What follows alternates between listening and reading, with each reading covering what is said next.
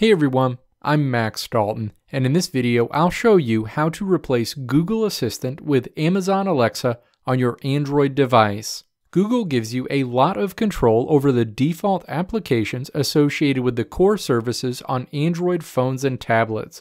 One of those core services you can change is Google Assistant. As a result, you can replace Google Assistant with Alexa if you'd prefer to use Amazon's voice assistant on your Android phone or tablet. The only caveat is that you can't use your voice to activate Alexa.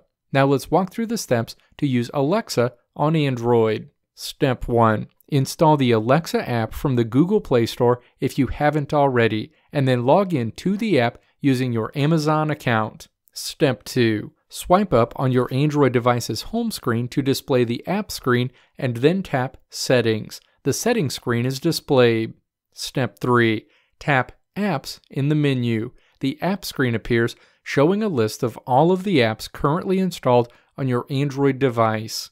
Step 4. Tap the vertical ellipses on this screen to open a menu and then tap Default Apps in this list. A list of the default apps on your Android device is displayed.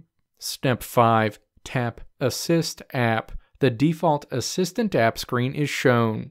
Step 6 tap Device Assistance app. The default Assist app screen is displayed. Step 7. Tap to fill in the selector next to Amazon Alexa.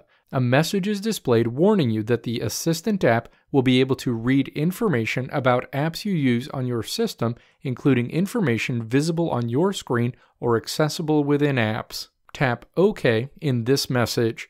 Going forward, when you hold down the Home button to initiate the voice assistant, Alexa will respond instead of the Google Assistant. Let me know why you're switching to Alexa in the comments below. If you liked what you saw here, click the video links on the right side of the screen to check out another video. Or click the logo on the left side of the screen to check out my website to see more great tutorials like this one.